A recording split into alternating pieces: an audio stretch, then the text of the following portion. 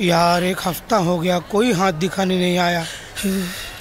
आप ये नया टू एम नमकीन खाओ